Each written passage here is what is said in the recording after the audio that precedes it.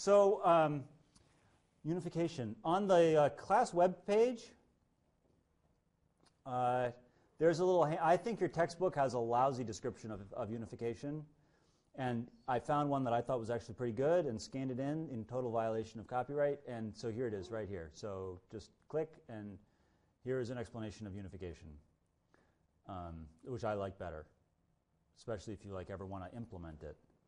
Um, so uh, I, I, don't forget about that. Um, here's an intuitive version of unification. So unification is when you've got two, I think they're technically called terms like a predicate with its arguments, um, and you want to see if they match up.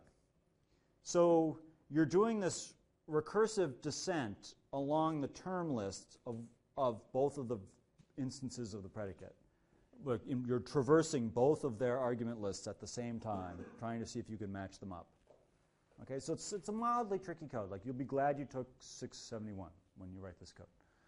Um, so we're in it right now. Oh, you're in it right now. Oh, great. Well, you'll be so happy. For some version of happy.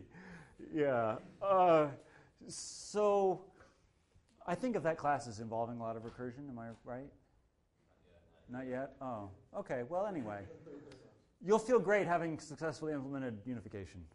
Um, so, oh, thank you so much, Matt. Lifesaver.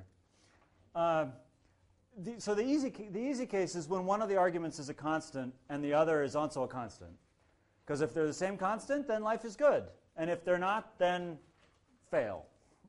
Because you can't unify two constants together.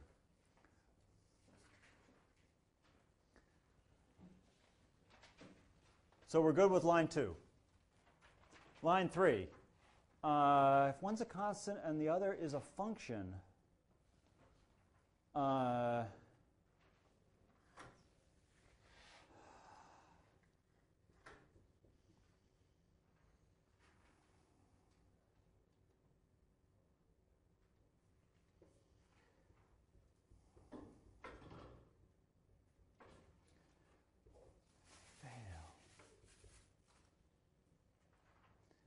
Yeah, because they don't necessarily line up. Um, now, when the other one is a variable, you know, a variable can be referring to anything. So we'll just say, hey, wow, it's for the constant. That's great. So then you want to, then we, we're going to say to ourselves, okay, from now on, this variable, we're going to have it be the constant. And you can choose in your implementation whether you right then and there quickly rewrite everything to have the constant in it, which might keep your mind simpler. Frank. Um, for, for the function automatically yeah. failing, is yeah. we going to only send arguments that are variables, not a constant argument to the function? Like if you have a function and you say add 2 to it, and you say is, is 4 the same as add 2 to 2? Function, function, function is like mother of John. Can we unify that with fish? Or even mother of X? Holy, how about Holy Mother of X? But, but, but if, we, if we have Mary and say, is Mary the mother, the same as mother of John, then we don't necessarily want to fail. Oh, yeah, but maybe she's not. So, like, it might possibly be true, but it could very well also not be true, and we want to like derive things that are valid, okay. like, oh, it's true.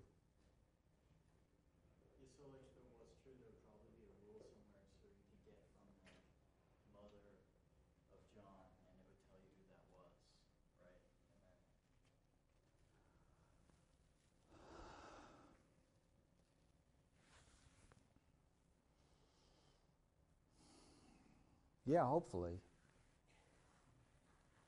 Really ask that very well. Well, we haven't. I, I, I kind of skirt the whole issue of talking about equality. Um, I mean, in order to really know that Mary is the mother of John, we would have to have somewhere like equals mother of yeah. John, Mary. Um, and I kind of avoid the whole equals thing. Um, but you could think about it that way, yeah.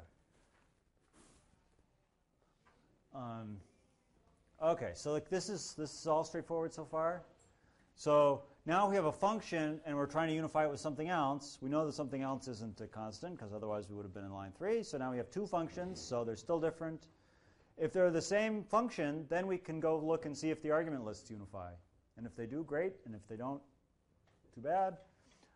Otherwise, we have a variable, and um, we will talk about this next time if the variable occurs in the function.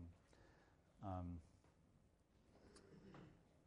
and otherwise, we're going to have two variables because we've done the case in which one is a constant, one's a function. So otherwise, they're both variables, and then you just substitute one for the other. Um, okay, so that's unification in brief. We'll talk about case 8 on Monday.